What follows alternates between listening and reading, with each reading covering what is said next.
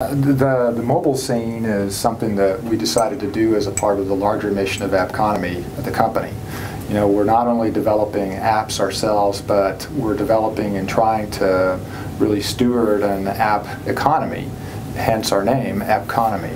And as part of that, we believe that you know, trying to sort of communicate what's going on in hardware, service providers, and devices is important seemed very appropriate that we start in Austin, our hometown, since there is a really robust and growing mobile scene.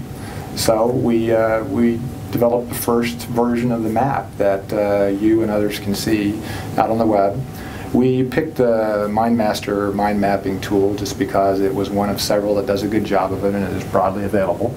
And we've invited others, both inside and outside of Austin, to, to help us build the map so that we can establish what the scene is, uh, what companies are represented, key people, events, organizations. And we expect as we grow and as we launch our products and services, so we'll see that map grow in other communities and hopefully we'll, we'll be kind of the, the group that help to see this adopted in uh, other places. So that's the mobile scene. That's, uh, that's how it came about. We uh, borrowed from work that was done by uh, someone Brian and I both know, uh, Bijoy Goswami and Heather McKissick, also of Leadership Austin mm-hmm. here, who did some early work on what they call the ATX, ATX being the short name for Austin, obviously, the ATX equation. And it's all about trying to determine really the, the strengths and uh, places of potential growth in a community that will really fuel sort of the next wave of economic activity. So we, we borrowed some good work done there um, that could be applied again in any community in every in, in, in, any sort of business driver and use that for the mobile scene.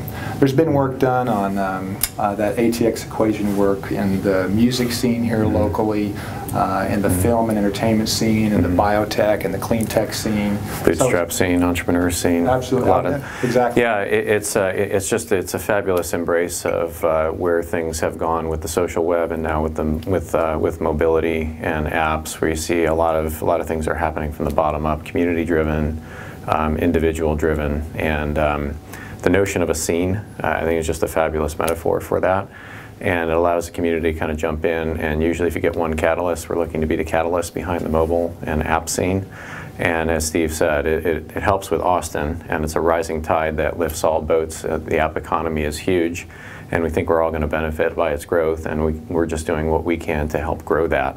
It certainly benefits us, but I think it benefits the overall Austin market by developing a scene like that so people can navigate their way around it and find spaces that are interesting to them. But I hope it does grow beyond that um, because the, the, mobility scene and the app scene is a global phenomenon. So mm -hmm. that should we should see layers that build on top of that for each uh, locale that has an interest or a cluster of capabilities in, in mobility.